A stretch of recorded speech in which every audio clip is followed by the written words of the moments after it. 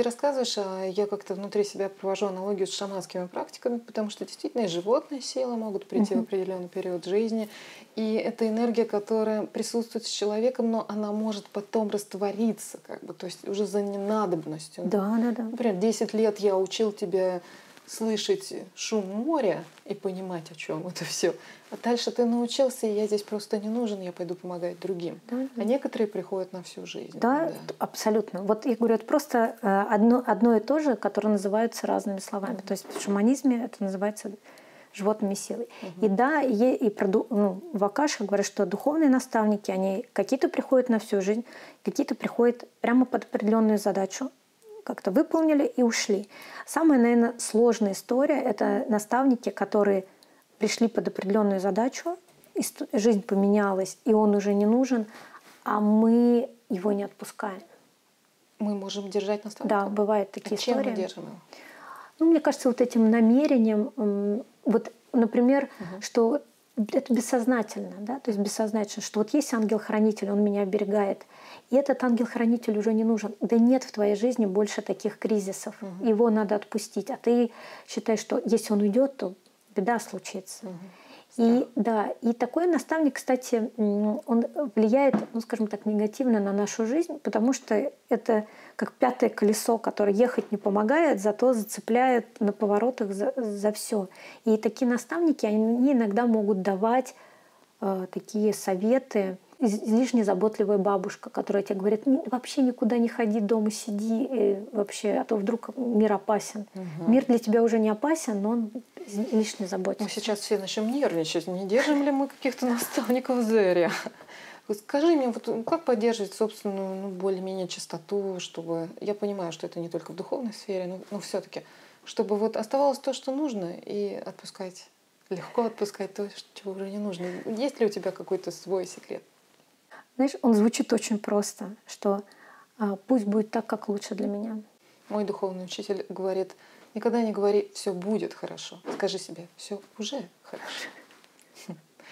Оль, расскажи, пожалуйста, про типы происхождения душ. Это вторая тема в том, что ты мне рассказывала про меня, которая меня очень сильно зацепила. Я нигде такую теорию не слышала, но то, как ты это рассказывала, то, насколько стройна эта система, заставляет меня думать, что ты действительно имеешь доступ к какой-то секретной особой информации, потому что это, это похоже на правду, я просто каким-то наитием могу вот дать обратную связь.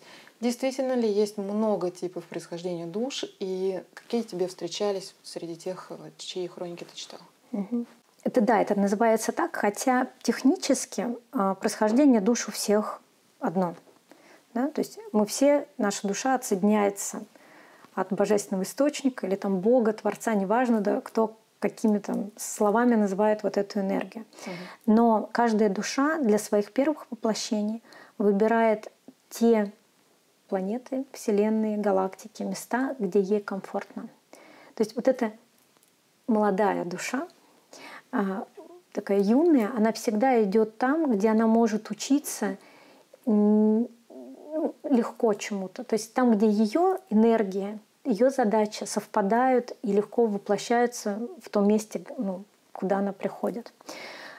И есть такая теория, что на Земле 80% а, всегда были это земные души, то есть те души, которые выбрали своей родиной Землю, Родины, но мы же все из одной родины. Ну да, ну, то есть, опыт. да, перв, первыми, да, первые пер, жизни первыми, на да. Угу.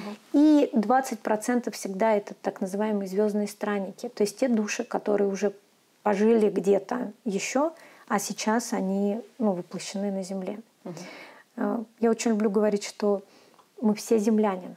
Мы сейчас все земляне, иначе мы бы вот не, не, не сидели ну, бы да, вместе. у нас да. тело земное. Да, да, да. Два глаза, 10 пальцев на руках. Посчитайте дорогие зрители. Вот. Но у души есть разный опыт. У каждой, у каждой души свой опыт. И у, какой-то, у каких-то душ есть опыт воплощения не только на Земле. И эти ну, знания, это оптика, как душа воспринимает мир, она немножко у всех своя, у каждого своя. Какие бывают звездные странники? Просто ты мой тип называла очень конкретно, прям с характеристиками. Я думаю, да, что так можно было? Назвать это словами можно было? Mm-hmm. Какие вы тебе встречались? А, ты знаешь, ко мне очень часто приходят звездные странники, а земные вот души, которые только здесь, пока только здесь, потому что когда земные души наберут здесь определенный опыт, они тоже пойдут куда-то еще. Я, по крайней мере, на сегодняшний день знаю более 20 вот этих групп происхождения, а, откуда могут быть души. Uh-huh. Какие-то встречаются чаще, а, какие-то реже, какие-то приходят ко мне чаще, чем ну, к другим, например. И есть, например, плейдианцы или Сириус, которые считаются, что они такие родители землян, и у них обычно очень много инкарнаций на Земле. Uh-huh. И они считается, что их здесь, они здесь всегда, ну, на заре цивилизации и там Лемурия, Атлантида, вот они уже были на Земле тогда, и очень часто они тут были в то время богами. Ну, то есть те, тем, которые земные, ну, земляне воспринимали богами. Сейчас они абсолютно воплощены в человеческих телах и получают такой обычный земной опыт, и им интересно именно так. То есть это просто из любопытства ты здесь? Да, они уже, мне кажется, они уже завершили какие-то такие глобальные настройки, которые нужны были на заре цивилизации. А теперь... Ну, ну Десерт. Да, наслаждаются а можно ли выделить как-то еще, вот не зная это через хроники, можно ли выделить сириусянца или плеядянца, ты меня, пожалуйста, поправь в словах, можно ли его узнать среди других людей? Есть определенные качества, которые проявляются у тех или других звездных странах. Хотя сто процентов ну, получить информацию можно в хрониках Акаши. Иногда я встречаю там людей, даже среди своих знакомых. У меня исходя из моего достаточно уже большого опыта, а, я могу так предположить, откуда может быть эта душа. Хотя не всегда угадываю. Ты ловишь какие-то проявления? Да, какие-то проявления. mm Ну, то есть, например, э, плеядианцы, они обычно очень нетерпеливые, у них обычно 100 миллионов дел одновременно, и они очень многозадачные, и они хотят всего и сразу, желательно вчера. mm Вот такие Потому что плейдянцы пришли сюда усилить энергии изменений у других людей. То есть они такие катализаторы для других людей. Вот. И они такие живчики. То есть много энергии. Да, они, они обычно, они тут давно, а у них они редко впадают в такие ну, жертвенные истории а, и очень часто пробуют жизнь на вкус.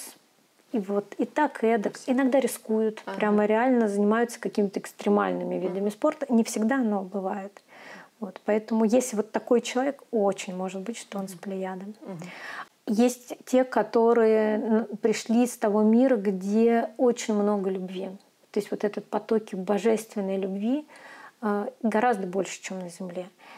Это, и это люди очень часто наоборот а, в этой жизни бывают или очень закрытые, потому что у них был такой не очень позитивный опыт там, а, и вернуться домой они не могут. На нек- в некоторые ну, планеты или цивилизации уже не существуют. То есть этим душам некуда идти. Некуда идти, да. То есть они такие космические беженцы. Mm. Вот, и они очень часто страдают, вот эта внутренняя тоска, тоска. По, ага. по дому, недостижимому дому. И часто они, кстати, бывают э, часто меняют места, место жительства, партнеров, да, им да. кажется, что где-то есть вот счастье mm-hmm. где-то за горами. Mm-hmm. Вот. Э, есть несколько таких групп, вот таких немножко неприкаянных, которые ищут, где бы их полюбили чуть-чуть побольше. И информация вот из хроник, которая приносится про группу происхождения, я всегда считаю, что это очень интересно, э, но недалеко не всем она может ну, помочь, скажем так. То есть иногда она как раз помогает принять вот эту свою внутреннюю суть и понять, почему же я так ищу это, угу. этот дом. И вот это вот понять, что принять, что ах, так вот почему. Потому что я, например, с Хадара.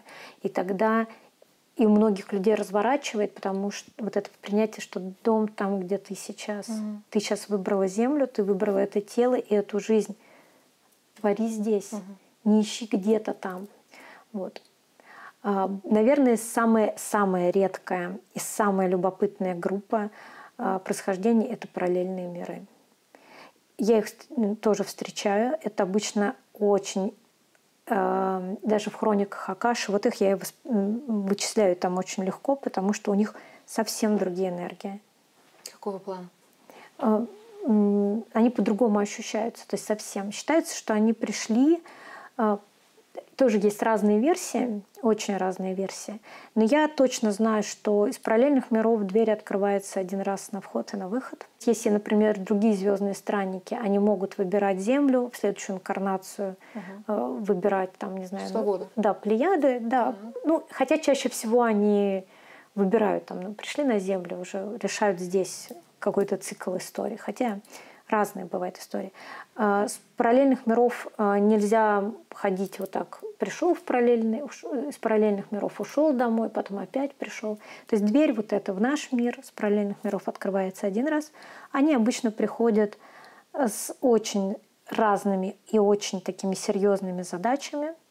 А, некоторые очень яркие люди, например, считаются, и они приходят часто, вот очень яркие часто приходят один раз – Угу. То есть пришли сюда, что-то сделали или не сделали, и, в общем, и ушли.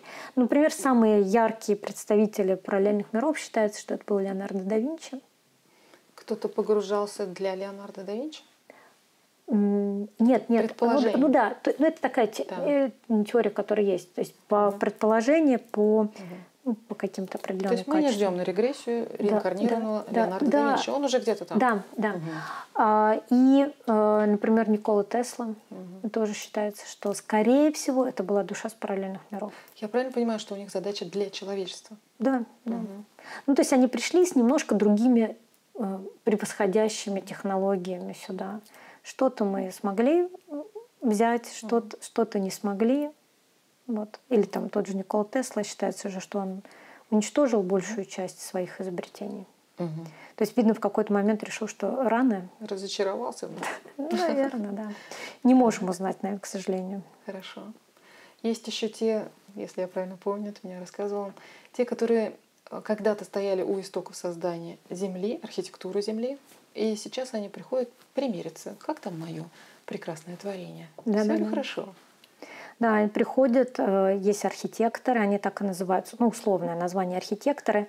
Э, про них, кстати, практически про единственное нельзя сказать, откуда душа. То есть Плеяды, там, Сириус, Хадара, Веги, Андромеды, они могут быть совершенно из разных мест, потому что их объединяет задача, для чего они здесь.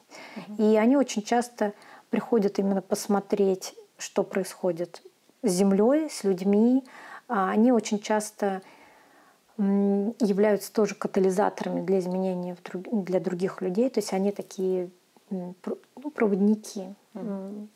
Вот. И у них обычно очень большие задачи и очень э, большой список э, душ, которым они пообещали перед, перед этой жизнью что-то для них сделать. То есть это не обязательно прожить с ним всю жизнь, а именно чему, что-то рассказать, чему-то научить, где-то поддержать, uh где-то провести. У них такой большой список. Соответственно, я сейчас пытаюсь вот с практической точки зрения. Если человек, он же человек сегодняшний, да? Да. Вот он узнает, например, о своей роли архитектора, о своем происхождении архитектора, то он немножечко может развернуться на предназначение сегодняшней жизни. Я правильно понимаю? Да, может. А, и у меня есть такие тоже примеры, когда а, Девушка, например, одна занималась очень точечной работой с людьми. Она уже ну, чувствовала свои, свою силу в определенных вещах, но она занималась очень, ну, скажем, индивидуальной работой.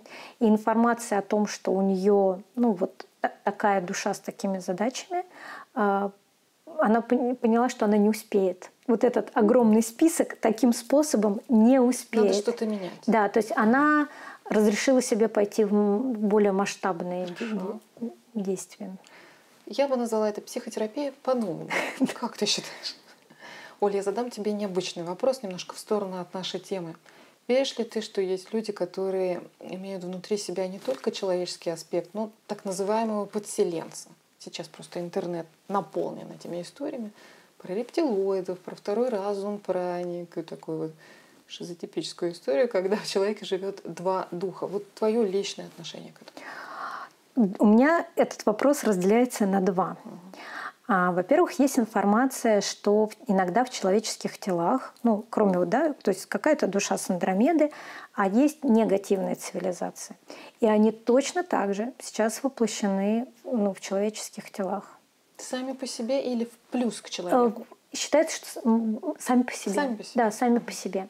Вот. Единственное, я скажу честно, я не встречала, то есть Э, ну, они я... к тебе не приходят. Да, они ко мне не приходят. Да, ко да. мне тоже. Да. Ни одного рептилоида. Да. Дайте я постучу по Так. Да, то есть я их вот так вот вот так вот ни разу не разговаривала, и чтобы пошла в хроники Акаши сказала, знаете, а, вы вот э, негативные, с негативной цивилизацией, у вас тут вот не очень какие-то задачи, то есть не пришли, не приходят. Возможно, они, возможно, они это осознают и знают, а возможно, никак, человек не хочет об этом узнавать, не приходит. Либо какие-то наставники да, не, не приходят. Да, не приходят. Да.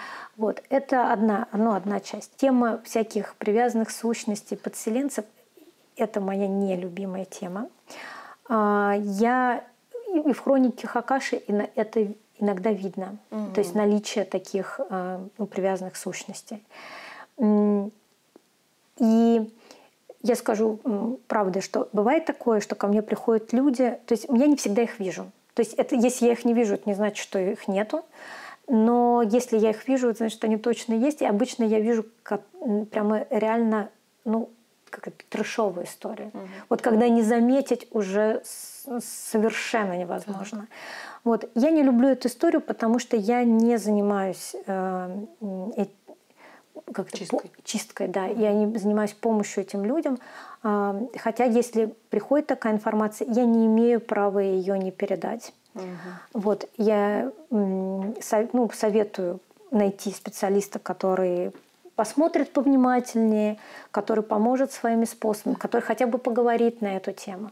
Вот, потому что я в свое время, как раз вот эти вот шаманские практики, когда мне, я знаю, как это делать. Да. Да, у меня есть, ну, как-то, как делать я знаю, но когда в шаманских практиках я пошла, мне показали, как это делать, и сказали, Оля, это не, как не твоя война. То есть угу. это не твоя задача, не этой жизни. Ты хочешь знать, как это делают, это вот так делают. Угу. Надо тебе этим заниматься? Нет.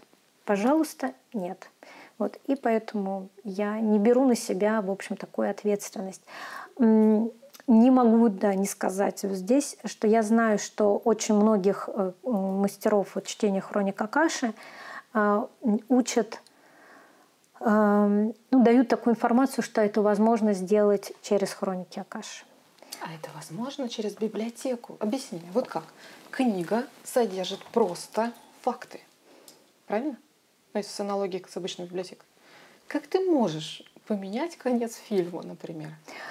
Переписать Ну книгу? вот я знаю, что так учат. А, и у меня, например, совершенно ну, свой, свой uh взгляд и свой опыт – потому что считаю, ну, считается, что можно вот как раз попросить а, высшие силы, там, духовных наставников, там, э, там, ангелов, да? то есть ты приходишь в хроники и делаешь запрос, пожалуйста, освободите там моего клиента, вот там, например, там, э, угу. ну, от подселенцев или там от э, тяжести его кармических задач. И э, я считаю, что даже не то, что это невозможно. Возможно, это как-то это имеет, эм, это может быть сработать, может быть сработать. Но у меня есть тут ну, какие, два замечания. А, первое, и, наверное, самое безо, ну, как это, безопасное для клиента, что на самом деле ничего не произойдет. То есть, ну, человек сказал, я с тебя, в общем-то, снял, но на самом деле ничего не произошло. Что это слова. Да, что это иллюзия. Так. Что это иллюзия. А есть вторая история, что, возможно, человек, знаешь, как заплаточку поставил. То есть рана там есть, а лейкопластырь, да, да, лейкопластырь прилепила, и вроде как не видно. Угу. И это не очень как бы история, потому что человек бы, может быть, э, решил проблему эту, да, эту рану бы вылечил, излечил в этой жизни, а он считает, что ее нет и живет с лейкопластырем дальше и не проходит свои уроки. А, мне вот кажется, эта история о том, вот, ну, о мастерах, которые так делают. А, я всегда задаю вопрос, а если вы отменяете да, кармическую историю, ну, ну например, а вам этот душа этого человека там после жизни спасибо это скажет.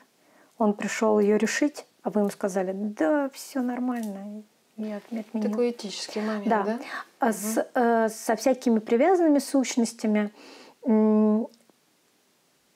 да, тут такая, знаешь, тут должна быть глубокая терапия с моей точки зрения, потому что мне кажется, мощных, э, вот, мощных привязанных сущностей так не уберешь, что Конечно. это очень серьезная работа. Угу. А какую-нибудь, ну, скажем так, мелочь, может быть, и так можно, но, знаешь, как-то дырка остается. Мы сняли, мы сняли, освободили от привязанной этой сущности таким способом, легким. Вот. Э, святое место пусто да, не бывает. святое место пусто не бывает. Какая да. энергия придет, может быть, еще более мощная. В общем, я считаю, что этими вопросами должны заниматься ну, как бы специалисты да. узко, узко заточенные да. именно на эту а историю. Такие есть, да, есть такие очень есть. достойные люди, коллеги, которым я тоже, например, отправляю к людям, которые вот этим живут с утра да. до вечера, этим занимаются, много всего могут рассказать. Да. Но я так понимаю, что общий подход такой, что если в человеке есть что-то, что вызывает вот эту подключку, есть некая структура или дыра ли это, или кармический урок ли это, то лучше посмотреть туда, посмотреть, насколько это ему по судьбе, как урок и так далее, чем пытаться сделать какую-то заплаточку, быстрая да. волшебная таблеточка. Наш с тобой подход в этом схож. Хорошо. Оля, я знаю, что у тебя есть собственная история и очень серьезная история про момент рождения, когда твоя душа приняла очень кардинально важнейшее решение для твоей жизни, и там есть большая история, которую мы, наверное, расскажем нашим зрителям отдельно. Сегодня на ней не будем останавливаться. Единственное, я хотела бы тебе напомнить, что каким-то чудесным способом мы к этой истории прикоснулись через регрессию. Классическую возрастную регрессию. Можно ли я спрошу тебя сейчас, по истечении некоторого времени, дало ли тебе вот это осознание какие-то новые грани того, кто ты в сегодняшней жизни?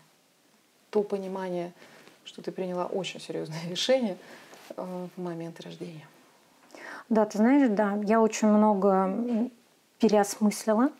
И э, мне это помогло посмотреть на какие-то свои истории своей этой жизни как-то новыми глазами и принять какие-то глобальные решения про, про, про будущее. Или принять, принять, угу. принять какие-то. Как для тебя выглядят хроники Акаши? Я вот знаю версию Майкла Ньютона, библиотека знаний, и его регрессанты, которые погружались, в основном видели это действительно как библиотеку. Полочки с книгами, есть какие-то хранители, библиотекари, это рассказать, может быть, где-то лестницу надо подставить, чтобы на верхнюю полочку э, залезть и добраться. У меня регрессант видел это как файловую систему в таком компьютерном современном варианте, и он там отыскивал определенный файлик. Есть теория Долора Скэна, с большим уважением к ней отношусь, про гобелены, про то, что это некий узор. Как библиотека знаний выглядит для тебя? И, собственно, как ты ее для себя объясняешь? Что такое хроники Акаши? Вот э, это очень правильный вопрос, что как это выглядит для тебя. Потому что по большому счету это такой энергетический слой. И чтобы нам, нам, людям здесь это понять, нам надо вот эту энергию перевести на понятный, доступный нам язык. И у каждого вот этот свой внутренний переводчик, который стоит внутри, который показывает Э, нам этот слой в привычном для ну, каждого человека своем ключе. Поэтому, а, да, я знаю, кто видит это как именно библиотеку. А, я, мне, кстати, ближе вот это вот Долорес Кеннон, как оказалось. Я, я честно, не знала. Вот, да, я спасибо тебе, вот, потому что я не знала, как она рассказывает. У меня это очень похоже. А, единственное, это такое очень многомерное пространство, очень красивое пространство, в которое все пронизано э, светящимися, очень яркими, ну, скажем так, нитями. Цветными? Да, цветными. И э, это очень яркие нити, ну, скажем так, гораздо ярче, чем э, такой земные природные краски, как, как будто немножко выкрученная. Утрированный цвет. Да, интенсивность, ага. да. И она вся пронизана вот этими энергиями. И я еще вижу Э, кристаллы. Кстати, есть несколько э, таких исторических чтецов хроник Акаши, те, которые рассказывали людям как раз о хрониках Акаши. Давай назовем какие-то имена. Я знаю про Эдгара Кейси. Да, да. Угу. Вот Эдгар Кейси как раз рассказывал, что он как раз и приходил в библиотеку, и он, например, рассказывал, что она находится в одной из э, как бы комнат в пирамидах в Гизе. Uh-huh. Это его была такая теория. Но понятно, что все хроники Акаши, они находятся на другом энергетическом плане. То есть его нету на физике. На физике. То есть не, невозможно откопать эту пещеру и зайти и увидеть эти книги. Это энергетическая такой, такая вещь.